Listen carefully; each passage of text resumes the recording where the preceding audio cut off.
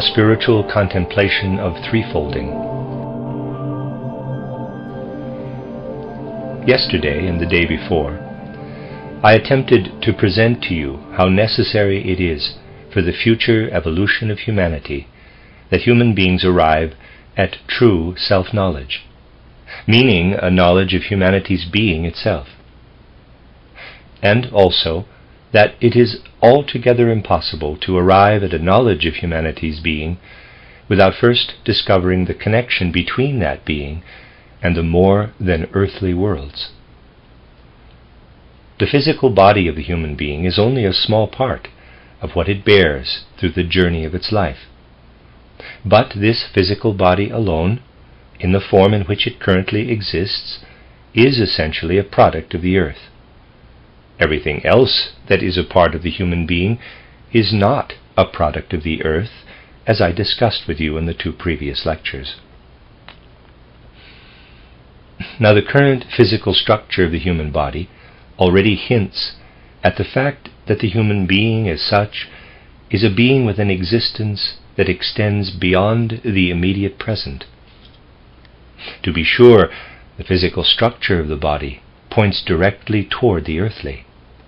But within its earthly context, the physical structure of the human body directs us to look beyond this immediate historical moment into the past and into the future.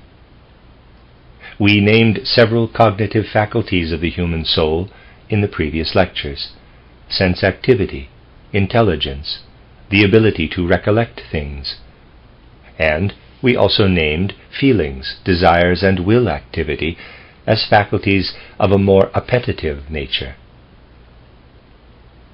Now, if we ask ourselves, what must human beings have within their physical bodies that allow them to develop these cognitive faculties? We must direct our gaze toward the structure of the human head and everything that is connected with it. The physical structure of the human head is necessary, though only in the sense that I discussed yesterday, and really only in that sense in order for the capital I, for earthly human consciousness, to develop these cognitive faculties. It is not correct to believe, as a result, that the I-E-Y-E must necessarily be what brings about our sense of sight, but it is correct to say that the I-E-Y-E is the transmitter of sight experiences to the ego and to consciousness and the same goes for the other, specifically the higher senses. In this way, and with many variations on what I have just said, the physical human body points directly toward the earthly, but at the same time it hints at something beyond the present moment, such that we can say, the physical body of a person that we see standing before us points backward, toward that person's previous incarnation in the physical structure of the head. Just as our intelligence points backward toward the far distant past, toward sun evolution, so do our present physical bodies, with their earthly arrangement of cognitive soul faculties, meaning the directing of those cognitive faculties toward the ego consciousness, point backward toward our previous lifetimes. I have already drawn your attention in the past to what the human head actually is. Schematically, you could depict it as follows, and there's a drawing. The human being consists of a head and then of the rest of the body. Let us say that this is our current lifetime. This is our present lifetime, and this is our next lifetime, references to the pictures. We can say, the head we possess now in our current lifetime came about through a metamorphosis of the limbs and torso of the physical body that we possessed in our previous lifetime. And we have lost the head we had during that previous lifetime. Of course, I do not mean that the actual physical organism of our limbs and torso, that is self evident. Rather, I mean the forces, the shaping powers that the physical structure possessed. Everything that we currently bear as part of our bodies, excluding the head, which is the bearer of our cognitive faculties on behalf of our ego, our limbs and torso, these will become the physical structure of our head in our next incarnation. You all bear within you now the forces that will be concentrated into your heads during your next earthly life. The actions that you take with your arms, the actions you perform with your legs, all of this will go into the inner structure of your head in your next incarnation. And the forces that stream outward from your head during your next earthly life, that becomes your karma, your destiny for the incarnation to come.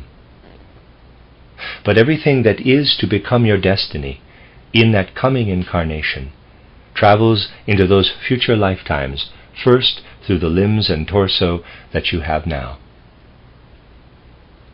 If, let us say, you have an intimate relationship with another person during one lifetime, this is something that involves actions taken by your physical body. This will then become a force within the structure of your head in your next incarnation, which will in turn affect your destiny. And so our head and the capacities within it are always connected with our previous incarnations, namely with the torsos and limbs we had during that prior lifetime. The human being lies at the root of these great transformations.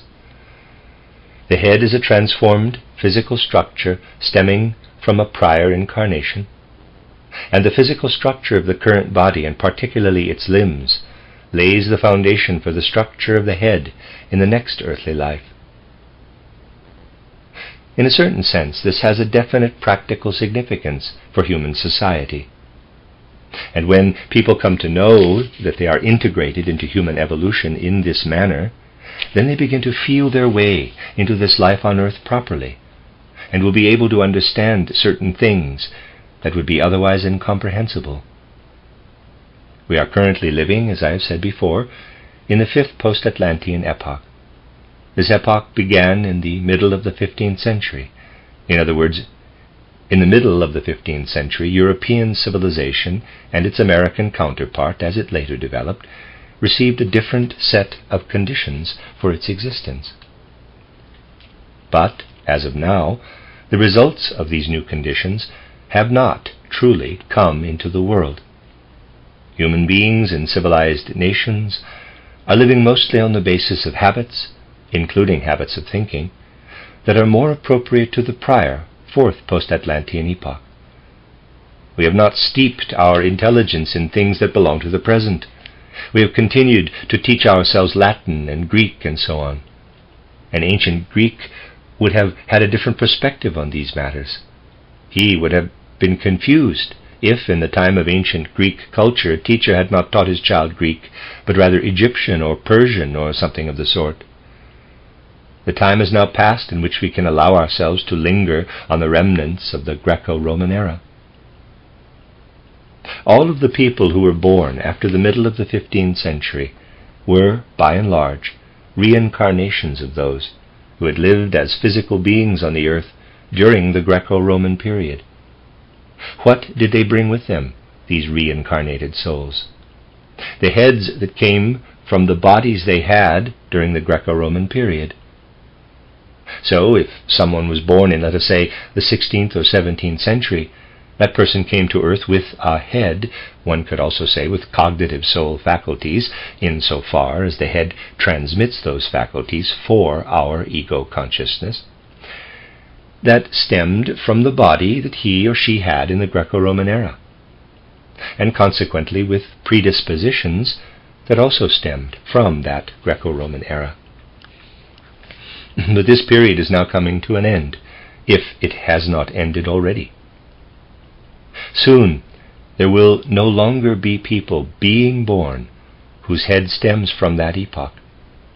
Instead, there are an increasing number of people being born who lived their previous incarnation in the fifth post-Atlantean epoch, or at the very least, toward the end of the fourth post-Atlantean epoch, when they led their lives in an entirely different way than those who lived in the thick of the fourth post-Atlantean epoch. This is not yet true of everyone, but it is true of many, particularly the leading figures of the world. If you want to live into human evolution with a fully awakened consciousness, then you must take this into consideration. Your head stems from your previous incarnation on the earth, and in your body you are preparing the things that will, that will become your head in your next incarnation on the earth.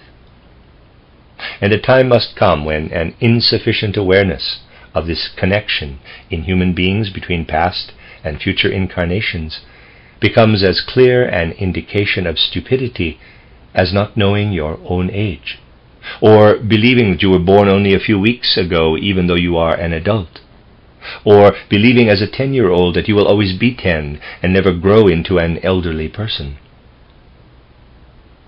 Nowadays, people live very egotistically during their life on earth. That most people believe that we all experience multiple lives on earth, but it is merely a belief, and not the kind of practical, everyday wisdom that this feeling of being in between incarnations must become. Just as it is common knowledge that a 40 year old man was at one time a child and then a young adult and will go on to become an older man. We must expand the boundaries around the things that human consciousness grasps. This expansion will not occur in a living way unless it is fructified by knowledge that comes from spiritual science. Otherwise, it will be nothing more than an abstract belief. Otherwise, we will never get beyond people saying, Oh, yes, I know that I have already lived on earth countless times before, and I will live here on earth countless times in the future but this kind of belief is meaningless. The only feeling of true integration with human evolution is the feeling that as far as your head is concerned, you are an older person because your head is the grown up body of your prior incarnation. As far as the rest of your body goes, you are a baby because that body will grow up into only a head in your next incarnation. This feeling for the human as a being with two distinct parts that has been placed at this moment in time must become an integral part of our living consciousness. And just as people are trying to determine the differences between individuals and populations and races of people by measuring their skulls and doing other similar and interesting things, so will they come to understand the differentiation between individuals living on the earth based upon soul spiritual knowledge that cannot be achieved without the kinds of basic foundation that we have been developing in recent days. People will have to question the soul's spiritual characteristics of the human beings spread across the world. And salvation will not come until the science practiced at our universities is completely filled with and integrated into the kind of thinking and perceptions that we have learned in recent days. Our universities will lead humanity to its downfall unless they are fructified in all aspects of their work by that cosmic knowledge that nowadays can only be won through the pursuit of spiritual science. At the same time, the religious feelings of people in the future must be borne up by the knowledge that people can achieve of the soul what people can achieve of the soul spiritual world. There is no other way forward. Because if we simply cast our gaze toward the soul's spiritual world, we will grow used to characterizing the groups of people living on the earth according to their particular soul spiritual characteristics, instead of merely discussing their physical characteristics as contemporary anthropology does. But this matter has a very serious and practical side. Certain things that play out in the present moment things that lie at the root of the serious events of this time, cannot be looked at properly if one lacks the possibility of directing one's gaze toward the spiritual qualities of various segments of humanity. And in that regard, I would like to draw your attention to something that seems to me to be of particular importance.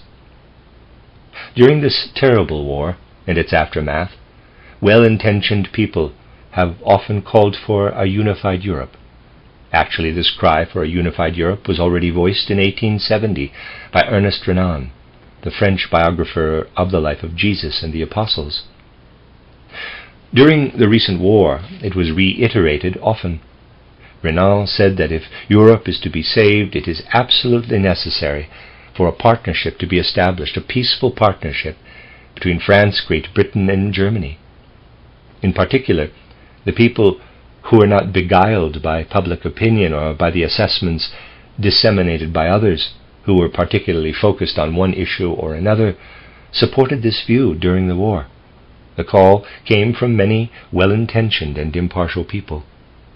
Now you can say, on the other hand, Europe's evolution during the past last few decades was such that it actually counteracted those things that a reasonable person would have to recognize as necessary if European civilization is to continue into the future. Without this peaceful partnership, said these impartial people, Europe is finished. But in the past few years, we have never arrived at this peaceful partnership. At most, we have the illusion of such a partnership. Now, if we turn our eyes toward the outward relationships between European nations, but looking at the outer world in the interest of testing soul spiritual truths, we can clearly see what differentiates the three aspects of human existence.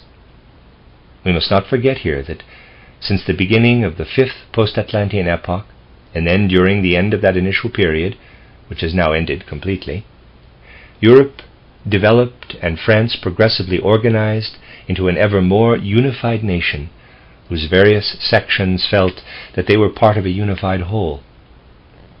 We might say the soul life of every French man and woman moved toward the feeling of being part of a unified nation, bearing within its consciousness some part of the words, I am a Frenchman. You can study all that these four words came to mean over the course of centuries. I am a Frenchman. If we draw our attention to the development of that phrase, I am a Frenchman, then we must also take a look at the simultaneous events occurring in German development. Nothing developed within the now fallen German Empire that can be attached or ever could be attached to the phrase I am a German. To say loudly and passionately I am a German before the year 1848 would have gotten you locked up. You would have been thrown in jail. It was the worst political crime you could commit. People have forgotten this. It was the worst of political crimes to feel like a German. For in Germany, local principalities had completely taken over the land, and it was forbidden, inwardly forbidden, to understand the whole of the territory occupied by the German peoples as a unity. For the first time in 1848, some people came up with the idea that you could actually consider all of the territory that belonged to the Germans as some sort of unified whole. But even then, this idea was considered heretical. It was treated as heresy. Only those people who were historically bound up in the evolution of the German people felt this unity as something that was part of their inner experience. They saw it as something extremely personal. Read the way in which such people who thought and spoke truthfully about these matters, like Hermann Grimm, for example, looked back at their own youth, which still had taken place some time before the 1850s. Read about how they describe having no possibility of expressing the judgments residing in their feelings, their felt conclusion, I am a German. There is a tremendous difference here.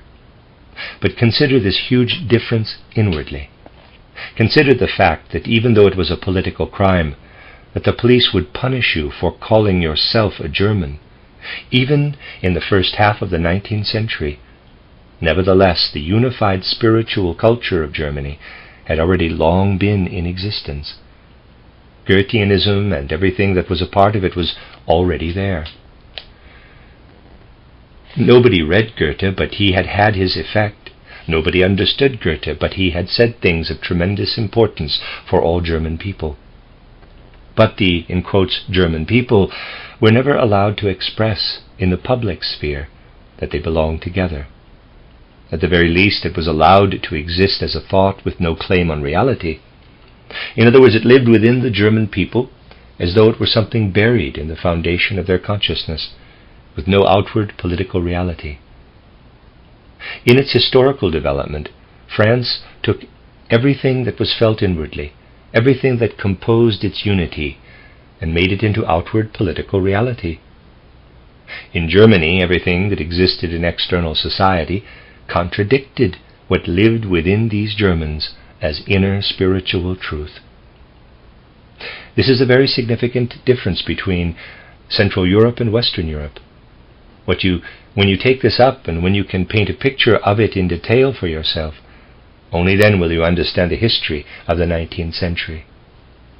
And when these things and all of the details about them live in the thought-feeling core, Gemüt, of all Europeans, though right now they are counting on partnership and commonality of feeling, then very soon all of these feelings of fear that have led to the present downward spiral will cease. But we will not be able to develop these kinds of international feelings unless we are able to consider the totality of the human being and begin to understand each person in regard to his or her intelligence and capacity for wanting and desiring. For in turning our consciousness toward these secrets of the human being, we become aware of the need to engage such considerations. These considerations, we, which we have just gone about engaging, are what teach us the truth about what all of this depends upon. Why is it the case that the French consolidated into such a compact collective of people in which each individual felt he was a Frenchman, which was a feeling forbidden to the German people until the arrival of Bismarck's German Empire? What was the cause of that? The reason is that in France a continuation of the old Greco Roman being was founded a being that I have described to you here for weeks as predominantly a political judicial being. This political judicial being came into Latin culture from the Egyptians via the Romans. The French people took it over. There is no population on earth that has a better feeling for judicial and political life than the French.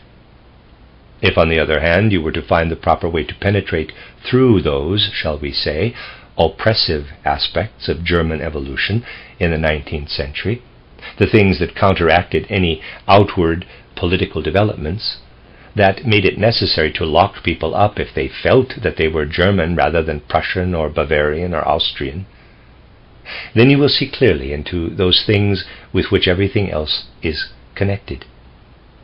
And if you study the details concretely of what German spiritual life became at the turn of the 19th century. If you do not study this in the way that unprincipled schools drill it into people, if you study the way in which Goetheanism flowed into the great spirits, who are all but forgotten, those who were celebrated as great during the spiritual antipode, if you study in the way Goetheanism flowed into men like Troxler and Schubert, and so on, then you will discover that the utter lack of talent for political life the dormant nature of the German people when it came to political life, the danger of being locked up if you desired to be a statesman for the whole of Germany, all of this actually predestined the German people to develop a great understanding for the spiritual, for spiritual life. This has been beaten back by the industrial commercial developments in Germany since the 1870s.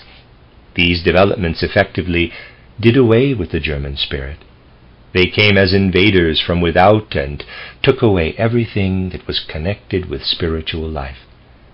Goetheanism has been forgotten. The fact that a German like Leibniz, for example, once lived among the Germans is more important for our school teachers to know than the writings of Cicero. But nowadays they hardly know that Leibniz ever lived. These are things that come into our considerations and are more deeply seated than all the other things that people nowadays name as the differences between Central Europe and Western Europe. And when people today talk about the need for peace accords between Central Europe and Western Europe, they must understand clearly that the whole spiritual evolution of Europe proves that such a peace can only come into existence when the German people come to feel about themselves, we are not destined for the outward legal political life.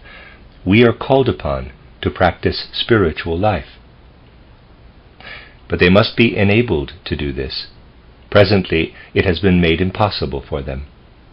Presently, they also have no accountability for it. We must come to recognize that the truly political people are the French people, because it is that population that best understands how the individual human being feels as a member of a political state.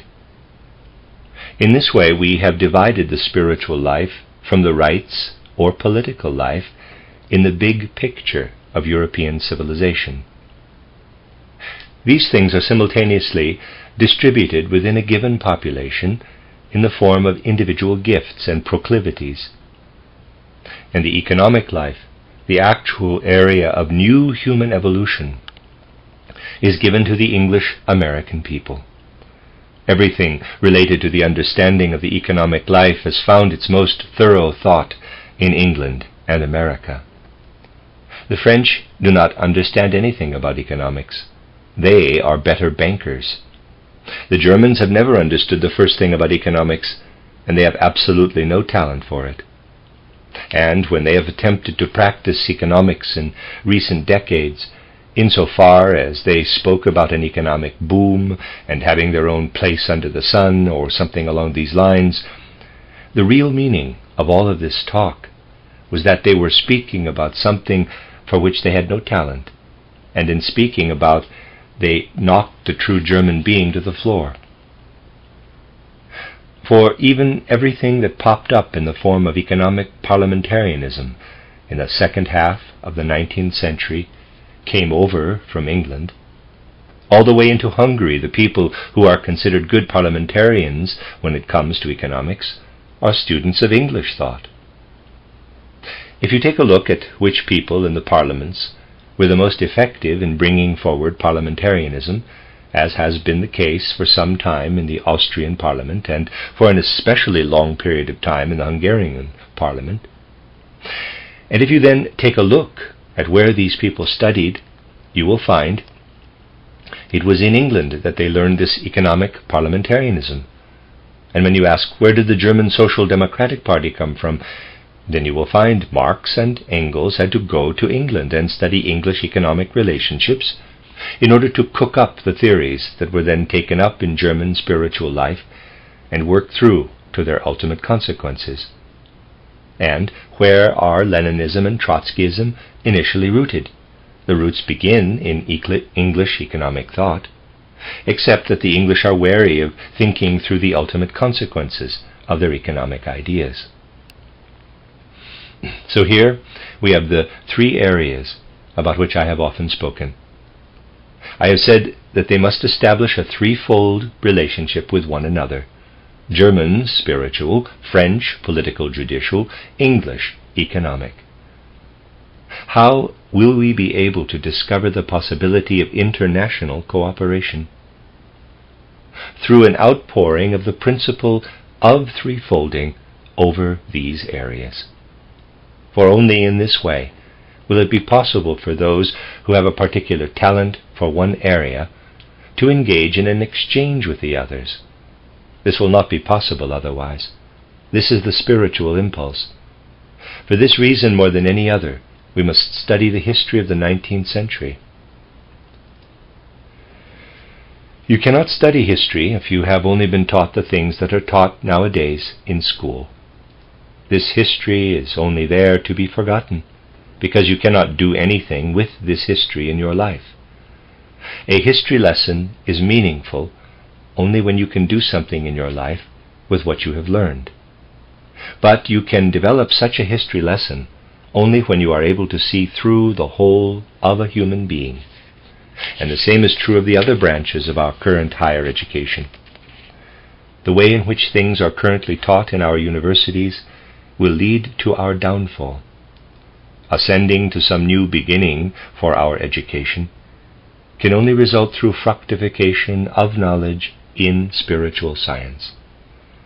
All of the things that are supposed to occur nowadays have already been prepared in our history But do not think for a moment that the correct historical relationships can be properly seen by anyone who is not familiar enough with anthroposophy to understand, for example, these three spiritual figures, reference to the drawing, and their relationship to one another, or understand the things that we were speaking about yesterday and the day before.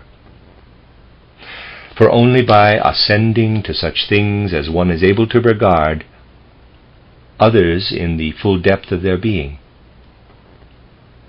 Let me read that again. For only by ascending to such thoughts is one able to regard others in the full depth of their being. Otherwise, one has no interest for the other. Otherwise, one is contented with the things that were given by schoolroom science and is compelled to spend one's free time doing those things that people nowadays spend their free time doing. Such things should be spoken of far and wide, so that there might be a sufficiently large number of people who have an understanding of them. Everything nowadays is dependent on there being a sufficiently large number of people who have some understanding of such things. Until there is this sufficiently large number of people who have such an understanding, we can do nothing with these things in the world. We cannot simply turn to institutions. We cannot simply establish new organizational practices. Rather, it is necessary that there be as many people as possible who have knowledge of these things in their cognitive soul faculties, that we might then establish new institutions with these people. Then the oppositional forces will not be able to stand against us anymore. Nowadays, you will discover something strange if you examine the thoughts that people have about European life, about the way in which European life should play out between one person and the next. I must tell you here a little about the specific details regarding what occurs.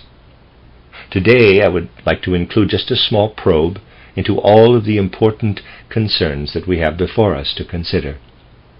Monsieur Frere, who, as I told you, perpetuated the slanderous rumor that I had been an adviser to the former German emperor, that I have been in essence the Rasputin to the German emperor, and so on, he was told off by Dr. Boos in an open letter.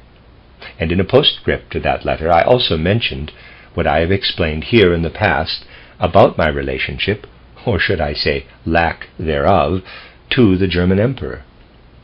Now the man had to admit that he had lied but he admitted it in a very particular way, a way that is also characteristic of the times. I will attempt as clearly as possible to offer to you in German the French sentences that he wrote. I am actually very glad to present them to you in German, for in German they take on a certain character which I would like to lend to them. So, after the letter from Dr. Boos comes the following quote, We, the editors, have given the above letter from Dr. Roman Boos to our correspondent. Uh, this is referring to the Herr Frere, who sent us the following reply. The above document is typical for a psychologist. Here we see what Latin irony becomes when seen by German eyes. Most likely these people, uh, he means those who have German eyes, take everything seriously. But my readers, they did not allow themselves to be misled.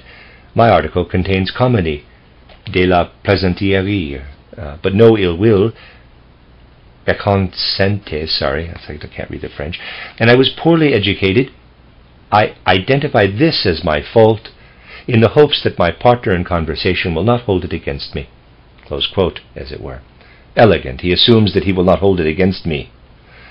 My partner in conversation, I mean the sociologist, I'm sorry, continuing the quote, by partner in conversation, I mean the sociologist whom I referred to as a sociologist, Dr. Steiner, and not the signer of the above letter, to whom I made no mention in my article, Dr. Boos. Indeed, au fait, what is one to make of this affair? Close quote finally. And so, a man is able to excuse himself with such useless words after not only lying, but committing a most base and vile slander, but you run the risk of being called stupid and unrefined if you take these things so, in quotes, seriously.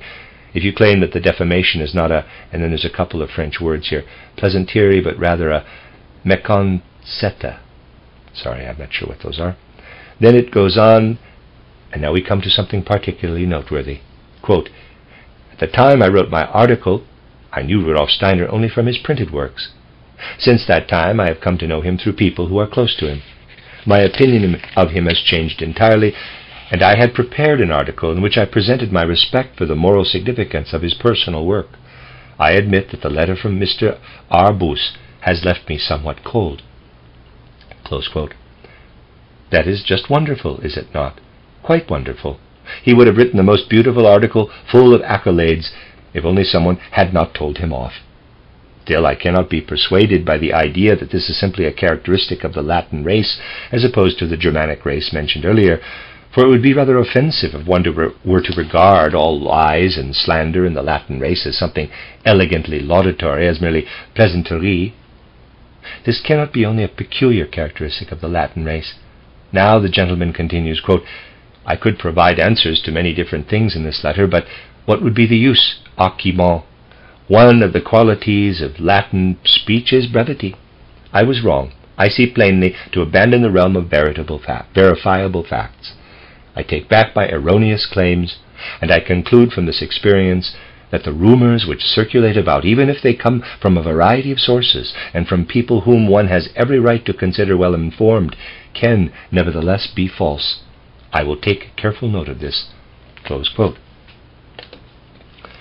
So, first of all, this man is so naive as to believe that he must take all rumors which circulate to be true, since he is only now taking note of the fact that they might not be. And secondly, yes, here we again run the risk of being considered unrefined, or as Frere would put it, German. Just try to think through elegant thoughts like these. It is impossible, is it not? For apparently you are not permitted to do so without belonging to that group of people about whom Frere says, and then there's a French phrase I can't pronounce, close quote, but you cannot help but do so. You have to ask yourself. Quote, so he takes careful note of the fact that not all rumors that circulate are to be believed. But if you are a person like Frere, then would you not be precisely the kind of person most like to bring those rumors out into a wide variety of circles? Well, there is no use in seeking any true thoughts behind the words of such people. From a document such as this, you can clearly see that it is not a matter of bringing such people to reason. We can only hope to make the rest of the public aware of the fact that shameful people like this are running about in the world, writing articles and spreading falsehoods. It is not a matter of repudiating these people, but rather a matter of rendering them harmless. The fact that these people exist, this is what is truly harmful. When nothing happens in the world out of spiritual wisdom, we rapidly move ever farther away from the time in which such a sensibility can truly spread throughout the world. For in the end, materialists of all stripes and from all sides will continue increasingly to speak in this way about those who take things up spiritually. Quote, ah, these people, they take everything so seriously, Soon enough it will be considered serious to speak at all about spirit. And indeed it is serious, but then we are not supposed to be serious. For as long as this kind of sensibility spreads, and it is spreading now, there will be no solid ground on which to better the state of things in Europe. These are the people who have brought Europe to this point. But we must work to ensure that a sufficient number of people gain an understanding of the fact so that it will be different. This should already be evident now to those who have, in some manner, encountered true spiritual scientific striving. Next Friday I will speak particularly about the development of imperialism in the world, which means that it will be an episodic lecture, a brief overview of the historical development of imperialism from the most ancient times, from Egyptian imperialism through to present day imperialism.